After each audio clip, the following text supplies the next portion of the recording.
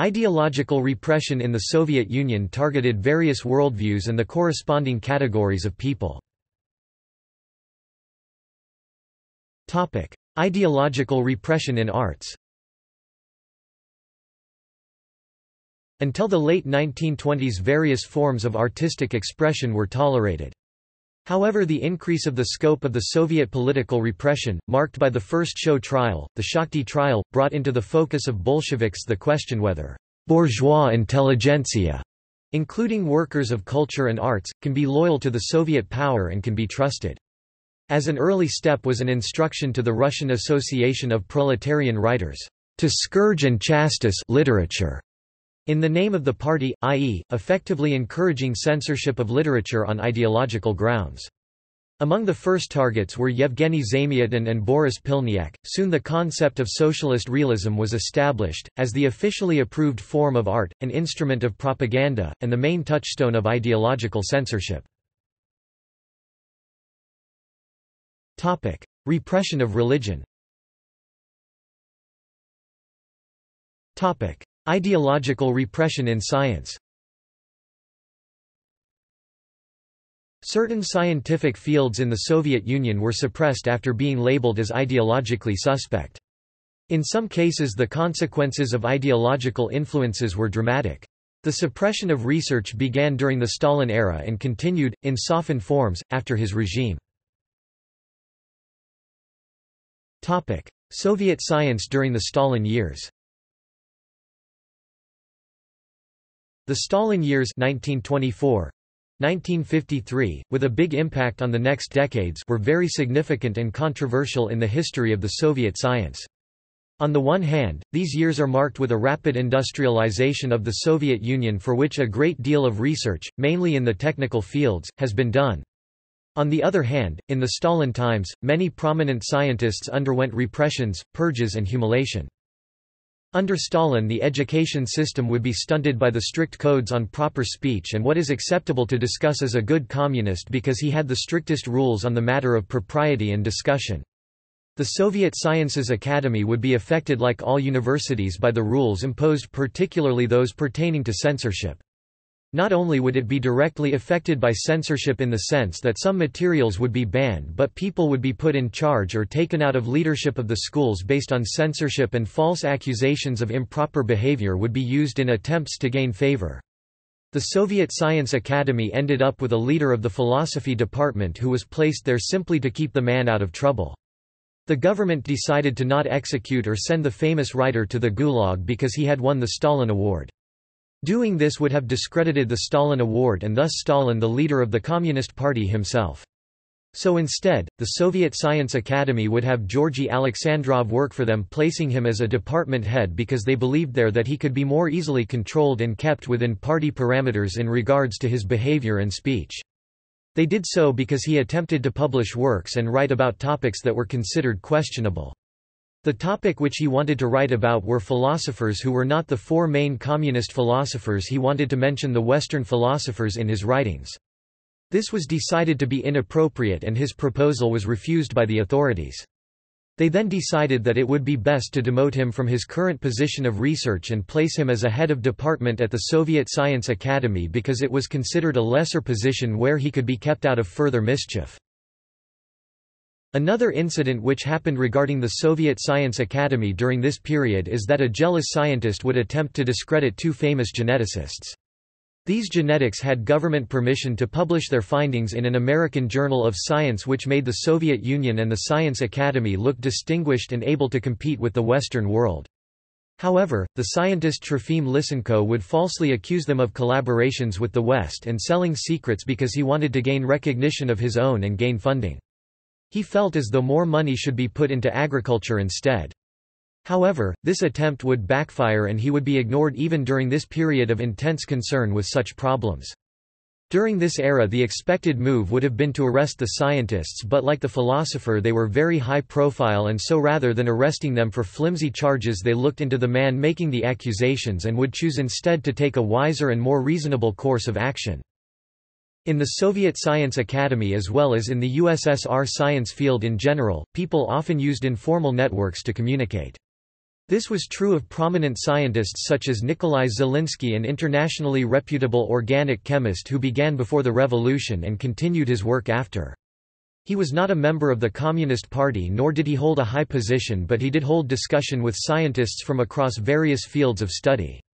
This meant that people knew and would support him across fields of science which was common for this period. So there was a certain amount of cooperation and working together to be found as well scientists who tried to get each other in trouble.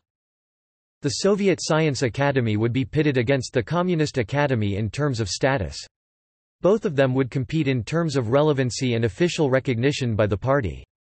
These organizations would struggle within the bureaucracy to gain more resources and respect during the late 1920s.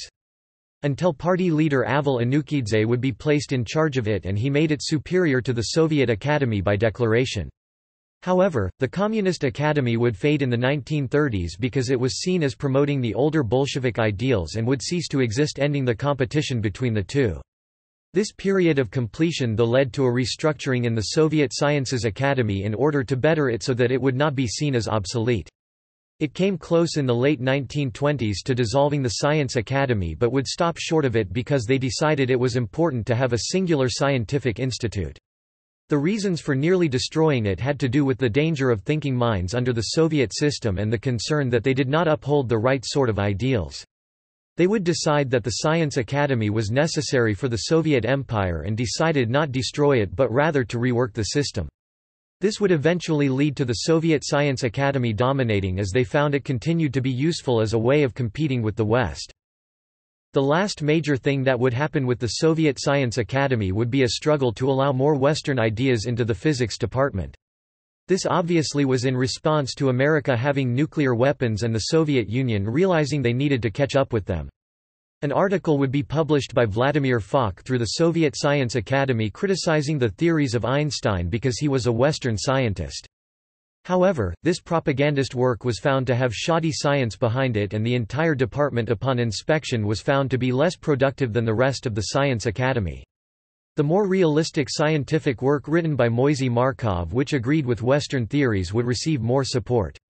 So in the beginning, with people like Alexandrov in the philosophy department there was the idea that people should not bring up Western ideology even to criticize it and explain why communism is better but now there is a turnaround where because beating the West is what matters good science needs to take place even if it means talking about ideas that go against principles to do so.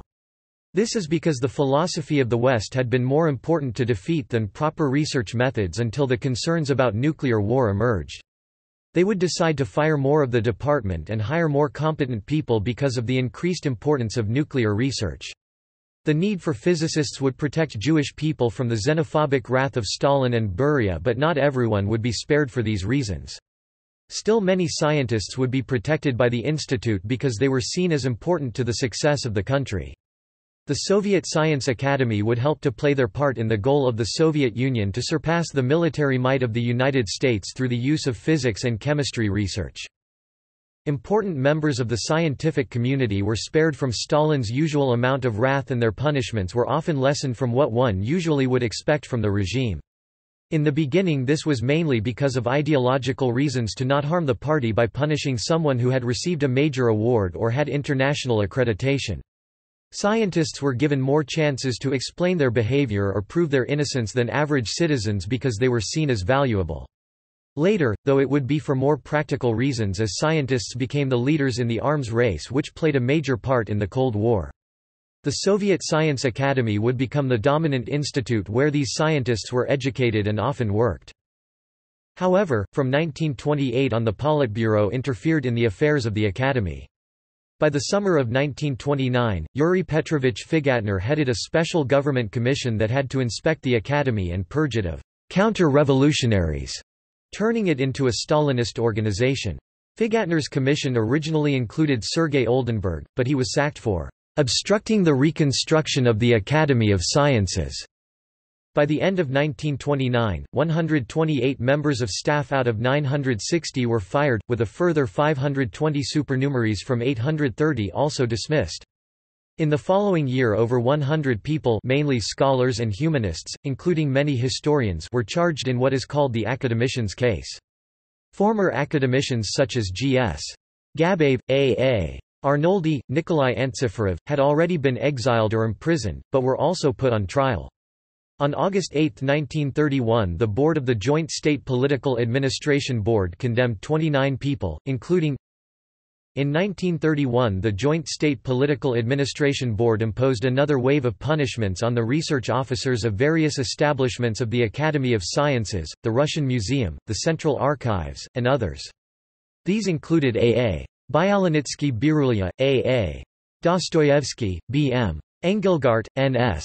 Platonova, M.D. Priselkov, A.A. Putilov, S.V. Sigrist, F.F. Skribanovich, S.I. Tukoshevsky, and A.I. Zaozersky. Some former officers, who worked for the Academy of Sciences such as A.A. Kavanko and Y. Were executed by shooting. N. V. Raevsky, P. V. Wittenberg and D. N. Kulturin who had organized various expeditions, the priests A. V. Mitrotsky, M. V. Mitrotsky, and M. M. Gers the church group, Professor E. B. Furman, Pastor A. F. Frischfeld the German group and F. I. Vityazov Sedenko, S. S. Baranov Galperson and E. G. Baranov Galperson the publishers group were also punished. Smaller commissions investigated institutions, thus the Commission for the Reorganization of KIPS and the Museum of Anthropology and Ethnography subjected these organizations to socialist criticism. References